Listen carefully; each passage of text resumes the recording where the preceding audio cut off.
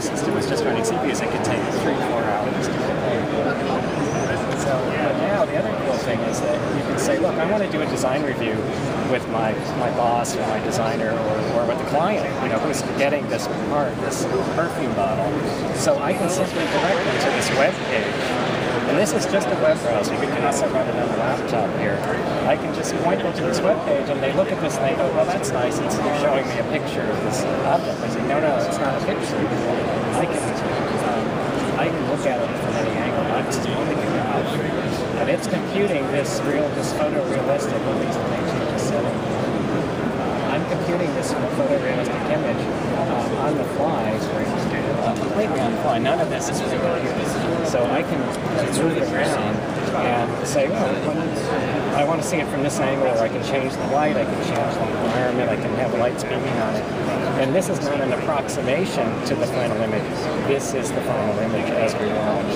And this is because you have the power of these 32 GPUs all computing simultaneously on this one session. So you can kind of think of it as a, uh, a substitute for, well, really, there's no way to do this with a design review now.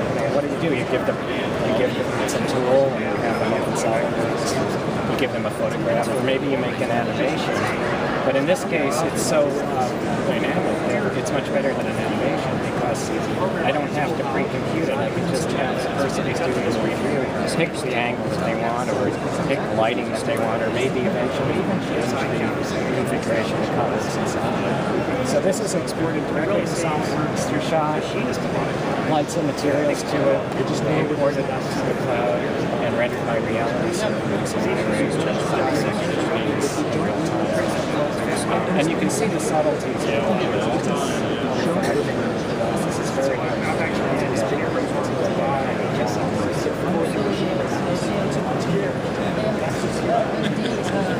development have not worked yet to better and better for that. You mean to make a better You, image? you, no, you, you haven't uh, finished uh, Modeling. Uh, the capacity. Right, right. the, the result is yet